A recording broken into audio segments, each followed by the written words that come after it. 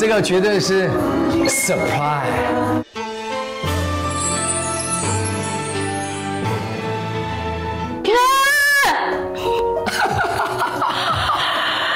钻戒耶！刘畊宏五二零单膝下跪送钻戒，老婆突破盲肠，私房钱到底有多少？夫妻的牵起来，如果你们刚刚吵架的话，现在赶快借机会，可以牵起手来。你说刘畊宏说的，刘教练讲的。嘿，刘教练说的是，抖音粉丝突破六千八百万，置入费传出高达两千两百万台币，五二零宠妻也更上一层楼，安啦，绝对不是家练健身操。你为什么礼物不拿出来，还是拿着手机要干嘛？我要放下音乐啊，你才能知道送的礼物是什么。你干嘛呢？我要走了。不是，No no no no。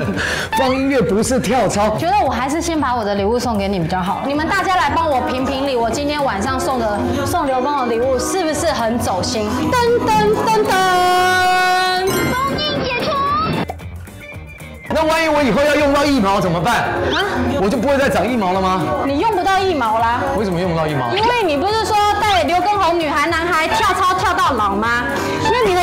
需要长出来吗？我就不能穿短袖、长袖啊！等等，不可以！来了，真的还有一个这个大家应该一看，应该知道是什么了吧？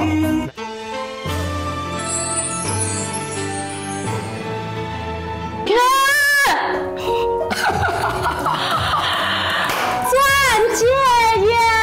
这就是我真的用心为你预备的，这不可能是两三天能够准备的好的哦，这是花很长的时间的。可宝贝，有必要这样吗？来，我帮你戴起来。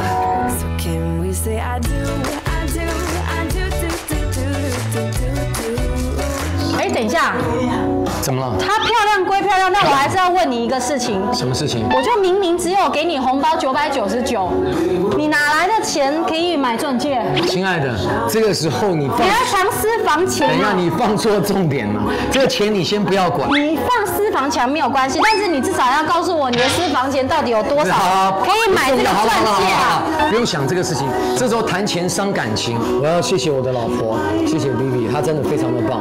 没有她，我真的人生绝对是超遗憾、超有缺憾。